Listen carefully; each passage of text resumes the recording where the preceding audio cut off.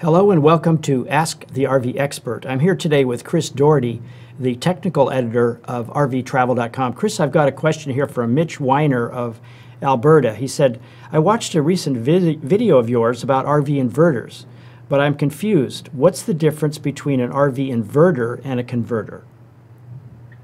Well, an RV converter is something that every RV has, and what a converter does uh, is two things.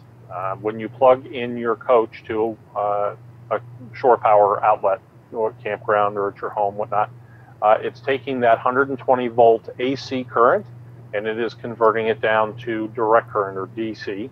Um, commonly called 12 volts DC, it actually ends up being about 13 and a half volts. Uh, what it and that uh, allows for the operation of 12 volt loads inside your coach, and it also acts as a battery charger uh, to maintain your coach batteries. Now, an inverter is a an appliance that you put in the coach, a piece of equipment that allows you to take 12 volts DC from your battery bank and convert it over to 110 volts or 120 volts uh, AC to operate appliances uh, within the coach. So uh, the inverter will have uh, certain outlets connected to it, uh, maybe the microwave or certain other things, and your television, for instance, to allow you to have those conveniences while you're out dry camping away from hookups.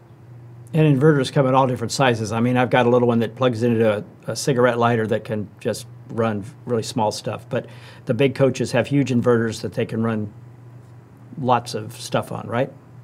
Oh, absolutely. Yeah, you can run anywhere from a, a, a 30 uh, watt inverter uh, that goes in your cigarette lighter plug in your car just to plug a shaver or a DVD player into, uh, all the way up to uh, two, 3,000 watt uh, units that are built in. And they can also be converter chargers or inverter chargers, excuse me, that uh, are built into the coach ahead of time. So it does a bunch of tasks all at once.